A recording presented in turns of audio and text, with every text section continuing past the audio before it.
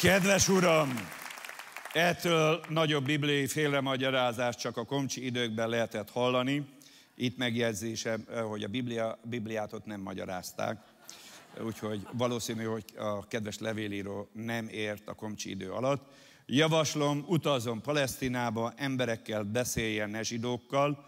Van még remény, szerintem ön sem maradhat örökké hülye. Üdv egy magyar ember. Hát én azt gondolom, hogy ha ez a magyar ember, akkor én az tényleg nem vagyok, mert én az arabokat is és a zsidókat is embernek tartom. Egyébként jártam sokat Izraelbe, egyelőre nincs ilyen, hogy Palesztina, jártam Gázai övezetbe, Cisjordániába, Egyiptomba, Jordániába, más helyeken is, ismerem az arab emberek szenvedését, nyomorúságát, mélyen együtt érzek velük, de azt gondolom, hogy ezekért a bajokért nem Izrael a felelős, hanem más okok játszanak ebben szerepet. Például a Gázában azt láttam, hogy, hogy a szenvedésüknek a javarészét a mostani kormányzat idézi elő. Többet szenvednek a vezetőiktől, mint az Izrael államától.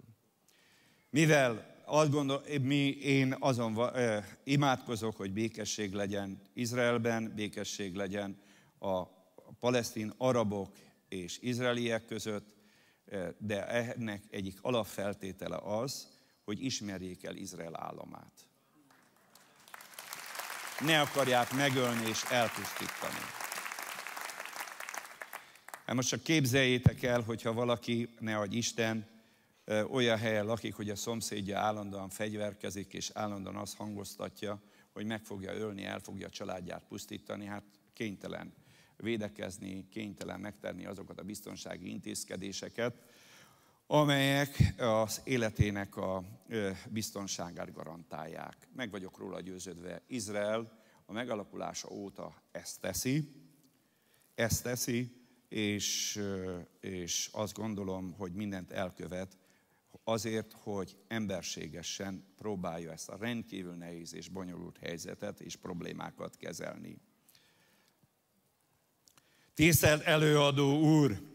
Gyakran nézem az előadását, egyébként itt megjegyzem még, a nagy e, betűvel írta az ember, a kis betűvel a zsidók, tehát nyilvánvalóan, hogy egy olyan levélíró vagy betelefonnáról van szó, aki a világ bajaiért a fő felelősnek a zsidókat tartja. Ugye hát ez az a idegbeteg, illetve paranoid világnézet, ami, amit, amit messze menőkig vissza kell utasítani, és, és nem lehet elfogadni.